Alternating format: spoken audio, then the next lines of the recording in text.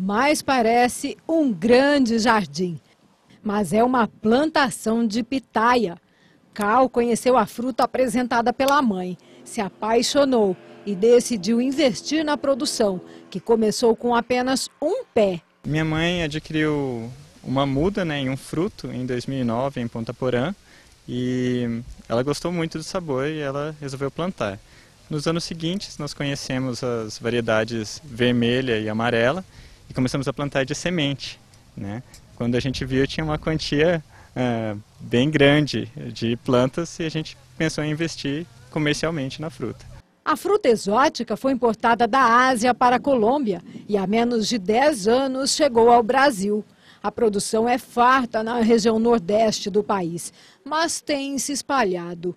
Este pomar, a 20 quilômetros da capital de Mato Grosso do Sul, é o xodó do funcionário público, que quando não está trabalhando, passa todo o tempo aqui testando novos cruzamentos para a planta e espécies para o consórcio. A bananeira foi a primeira tentativa, mas não passou no teste geral. A próxima deve ser com o mamão. A pitaia gosta de sol, mas também precisa de água. Por isso, os pés são irrigados todos os dias.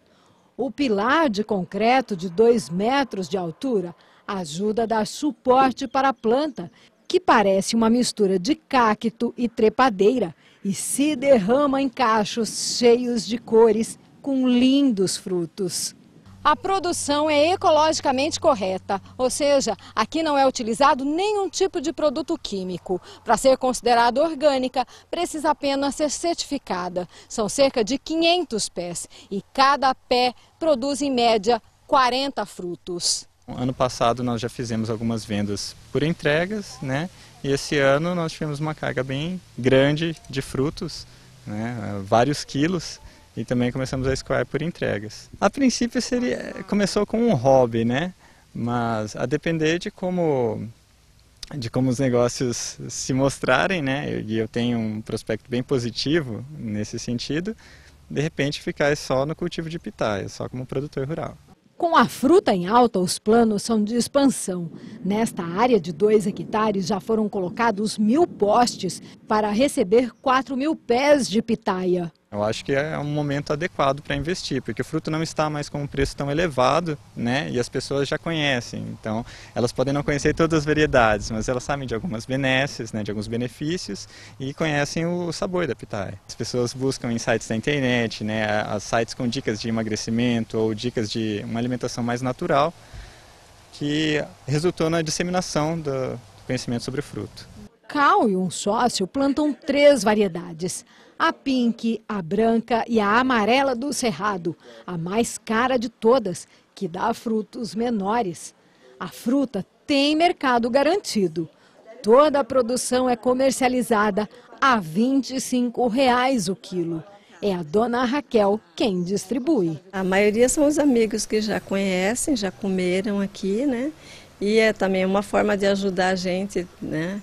A divulgar o produto, levar para casa num dia de domingo e abrir para um monte de gente que não conhece. Né? Foi amor à primeira vista, fruto bonito, na hora que abriu, muito saboroso. A fruta não conquistou apenas a matriarca da família.